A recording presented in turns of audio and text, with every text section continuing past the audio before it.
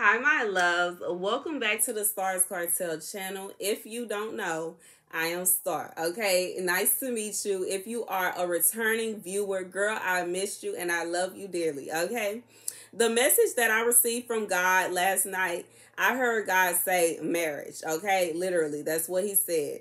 Um, the bookmark says God's best is always worth the wait. Oh, that hit that, hit. Grace and peace be yours in abundance. Okay. This is for somebody you have been waiting on marriage. You have been waiting on marriage, and God is saying God's best is worth the wait. Okay. Not only are you guys best because the person you're waiting on has probably been waiting too, but the person that you are going to receive is going to blow your mind. I just I just hear that. It's going it's going to be shocking. You're going to feel as though where did this angel come from? Okay? The scripture God gave me comes from Romans 6, 15 through 23.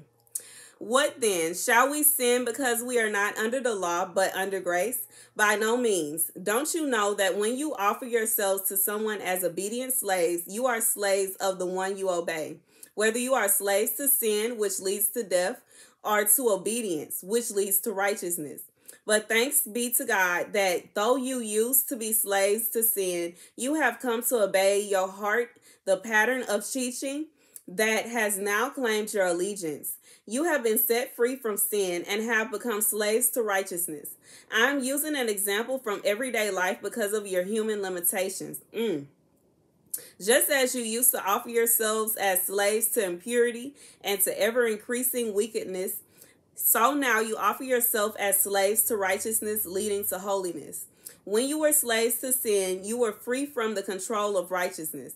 What benefit did you reap at that time from the things you are now ashamed of? Those things result in death. But now that you have been set free from sin and have become slaves of God, the benefit you reap leads to holiness, and the result is eternal life. For the wages of sin is death, but the gift of God is eternal life in Christ Jesus our Lord. Our Lord. this is for someone you have been maybe in the past you just felt as though you didn't want to get married maybe in the past you felt as though um, you have been waiting so long for marriage and you just gave up hope maybe in the past you felt as though if you didn't um have you know sex before marriage your person would leave you or your person would not want to be with you or your person would not accept you. And I feel like that didn't work out for you anyway, obviously. And um not to say obviously like that, but I'm just saying because this if this message is hitting home to you, then it is because that relationship did not work out. And I feel like with this scripture, God is saying it didn't work out because you then, instead of being a slave to righteousness and keeping your celibacy, you were a slave to your sin and it didn't work out anyway. While you were able to do what you wanted to do, you still it still ended in heartbreak. And don't feel like I'm just uh, getting on you. I'm just banging on you. I, I've been there. Okay, so don't even do me that. But I'm just being real.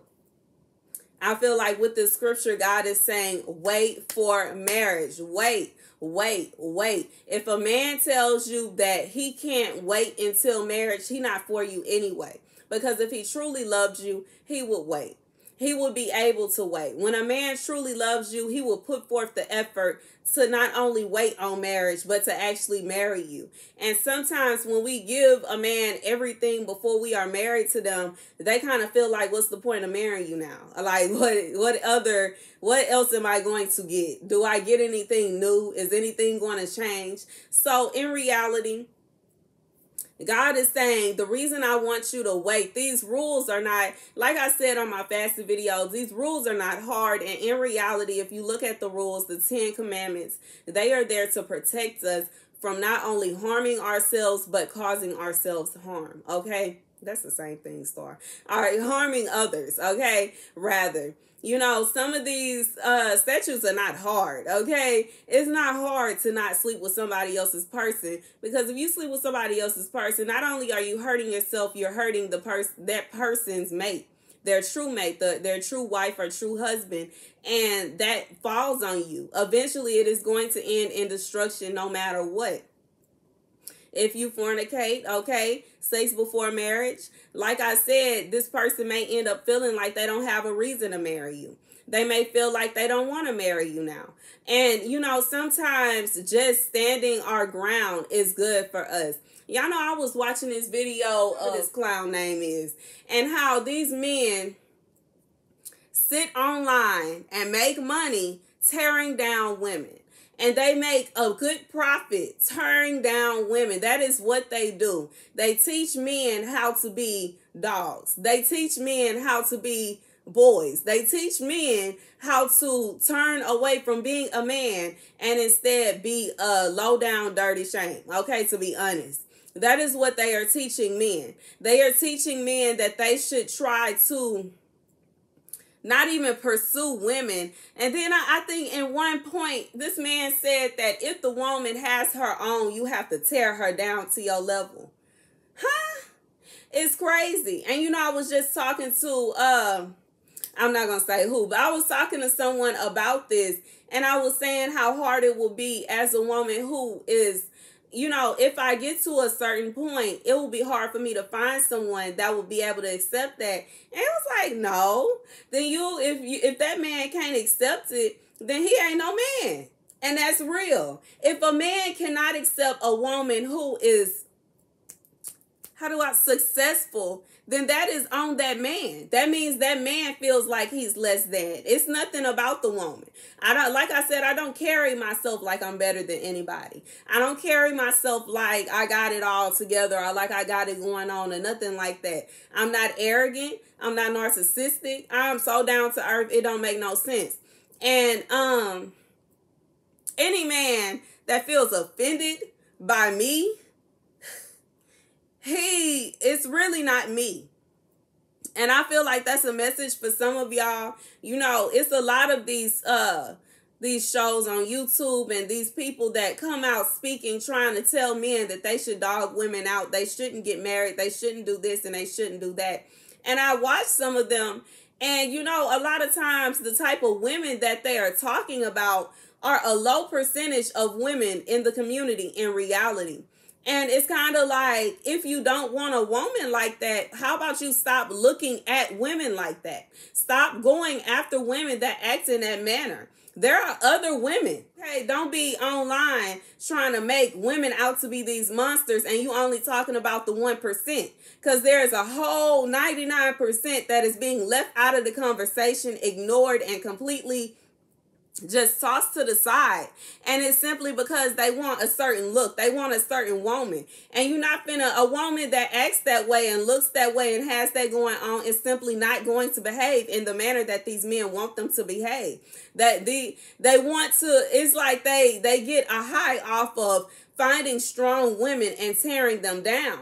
And you know, it is it's not a woman's fault if a man feels insecure. It is not a woman's fault if a man feels as though he can't stand next to her because she's so successful.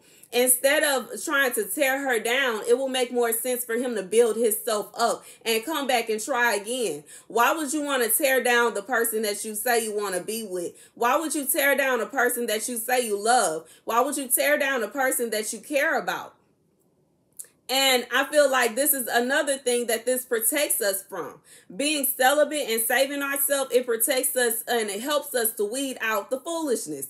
Feed, weed out the trash, honestly. Weed out the nonsense. Weed out these insecure men that got all of these problems that they got going on. And I don't know what it is. I don't know if it's because they didn't have um, certain people in the household. So now they're looking up to these men that really don't know what they're talking about. It's, it's more single people than it should be. And it's because of these mindsets. In reality, as a woman, I feel like I am more um seeking now to build myself up than to just wait for somebody to come and take care of me because in reality I, I don't want that I've been there, I've done that, and it's not fun. A lot of times when you have a man just taking care of you, you don't have no say so in your life. You don't have no say so in what you have going on. And in reality, um, if the relationship goes bad, just like the scripture says, you are now feeling sad, you're feeling heartbroken, and you have lost out, and you did it to yourself. You can't be mad at anybody else. And it's just like these men and what they have going on. Because no woman is going to stand by and deal, no real woman. And that's the problem. They are seeking out women that are strong and trying to tear them down instead of seeking out a woman that they want and just accepting her and being okay with that. You know what I'm saying?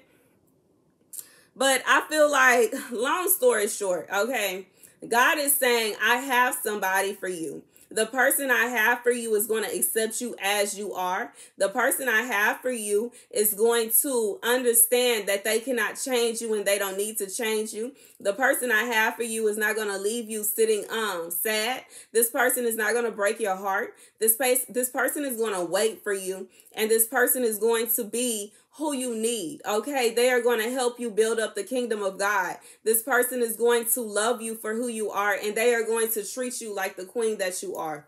And I feel like at this point I am repeating myself. So that is the message. Thank you guys for watching. Be sure to like, share, and subscribe. Deuces.